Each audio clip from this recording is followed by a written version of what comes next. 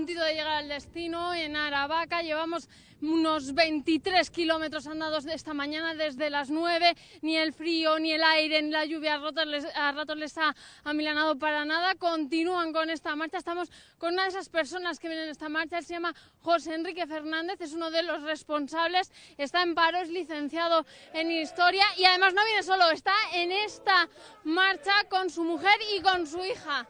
Esto además es solo una avanzadilla de lo que va a ser mañana, ¿no? Sí, en efecto, eh, volvemos a Madrid, esta es la avanzadilla de la columna asturiana y bueno, pues se prevé que mañana lleguen una ingente cantidad de autobuses, ¿no? Eh, volvemos a, a, Madrid para decirle a este gobierno que, que, los vamos a echar, un gobierno que nos tiene sumido en la pobreza y en la austeridad con unas políticas y una mala gestión, ¿no? Un gobierno que trabaja también para las grandes fortunas, un gobierno que trabaja para los poderosos y además venimos también desde las marchas a decir que tenemos una alternativa, una alternativa para las personas y una alternativa de dignidad para devolver esa dignidad a todos los trabajadores y al conjunto de los, de los más empobrecidos de este país, ¿no? Eh, José, buenas tardes. Buenas tardes. ¿Tú estás en paro? ¿Tienes trabajo? Yo ahora mismo estoy en paro, soy licenciado en Historia y bueno, pues llevo en paro bastante tiempo, ¿no?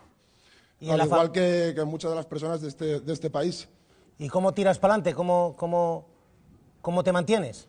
Bueno, pues, pues malviviendo también, con la solidaridad de, de, compañeros, de familia y bueno, pues más peor que, peor que bien, pues vamos, vamos tirando hacia adelante, ¿no? El conjunto de la familia, de, de la madre de mi hija, de mi hija, etcétera. ¿Desde dónde vienes caminando?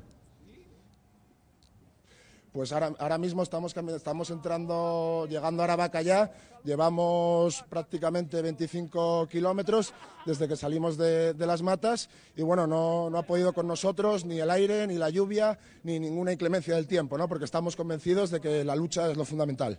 José Enríquez, un abrazo, suerte mañana.